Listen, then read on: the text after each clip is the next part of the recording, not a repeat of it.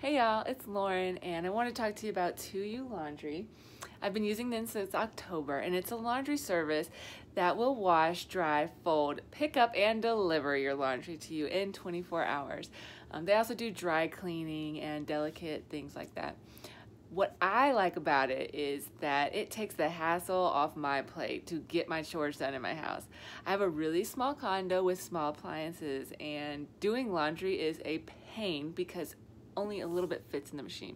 So with this place, they fold it so neat too that all you have to do is just take the stacks and put them in your closet and your closet is automatically organized because it's so neatly folded that you don't have to do anything. Anyways, give them a try, check them out. It's about $35 depending on what you want and you'll never go back, trust me.